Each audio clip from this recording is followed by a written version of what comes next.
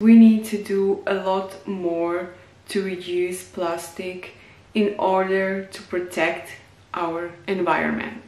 For me, one of the most hardest things in transitioning into zero waste or low waste lifestyle was to find um, alternatives to plastic. Actually, it is unbelievable how many plastic bottles on shampoos and body wash we use every single year and I think that this needs to change. My name is Dominika and I'm making videos about minimalism, low waste and veganism and of course another things. And in this video I want to share my low waste beauty swaps. So enjoy! The first thing is multi-purpose products. Make your own. It's better for the environment and it saves you a lot of money too. And of course you know what the product contains so you can make your natural product with no chemicals. DIYs. So as I already said, you can create your own homemade creations. Commercial products are mostly packed in plastic and they contain toxic ingredients which are actually um, very unhealthy. With the simple ingredients like coconut butter, shea butter or plant-based oils you can create your homemade stuff. I do also have some videos on YouTube how to create um, deodorant, body wash, toothpaste. I will put the link up somewhere here. Less is more. So the bathroom is the smallest room in our home and that's why it not should be cluttered.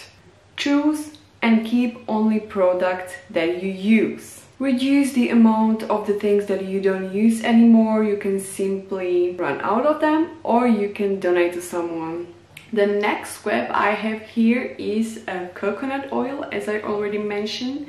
It's a very very versatile product and you can simply use it almost for everything. I use it for my homemade cosmetics. It can do wonders.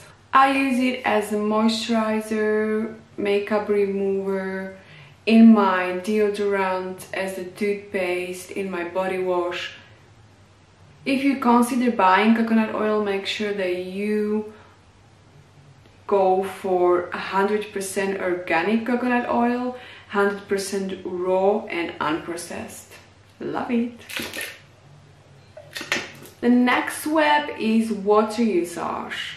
Make sure when you take a shower that you lower your duration to 4 or 5 minutes. Turn the water off when you're not using it. While you are shampooing or soaping yourself, just turn it off. The next step is to finish all your products. Don't throw anything away.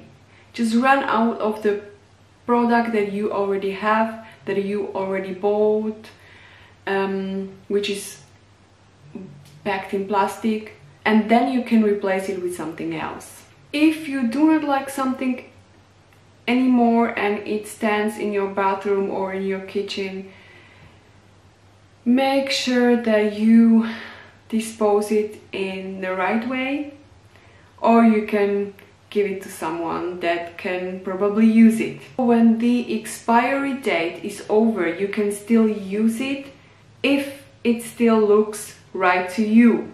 Actually, these dates um, don't mean anything. Companies just want you guys to buy new products. So by making your own homemade products, you use your creativity. If you, for example, get bored with the products that you use, you can simply make your own. The same, for example, goes for um, deodorant. If you do not like the smell of the deo that you already bought, just make your homemade one with the essential oils that you like and that you want your product to be. Choose ethical brands. Avoid fast fashion. Make a research and find ethical brands. Why? Because you will support companies. Essential oils. I already mentioned in my previous videos how I love essential oils. They smell awesome and they are so versatile. I use them almost in all my homemade products, cleaning or beauty products. As I said, you can use them for example as a perfume or for your deo or homemade toothpaste. Just make sure that you look for 100% organic essential oils. The last but not least of my sweats are alternatives. I will just pick some of them. You can read the whole text or post on my blog. I will put the link down in the description box. You can replace plastic toothbrushes with the bamboo toothbrushes. Single-use plastic straws you can replace with bamboo, glass or stainless steel straws. You can use jojoba oil or avocado oil as your makeup remover. As a conditioner you can use apple cider vinegar. Replace your bleach toilet paper with natural alternatives plastic brush and plastic combs you can reuse with wooden brushes or wooden combs.